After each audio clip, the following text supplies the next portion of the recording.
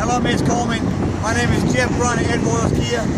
This is a 15 hybrid outfit that you inquired about in aluminum silver with a beige leather. Come on this way, let me show you the car.